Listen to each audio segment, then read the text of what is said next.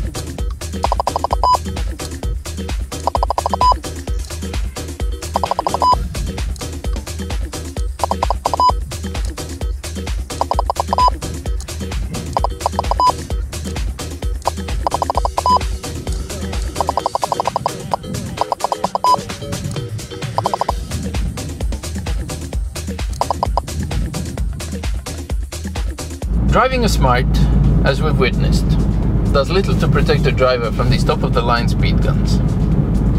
Of the three, the Stalker LR achieved the greatest range, almost 2 kilometers on a Smart. On the other hand, mounting the world's smallest laser jammer onto one of the biggest passenger cars there is made that car invisible to all three speed guns.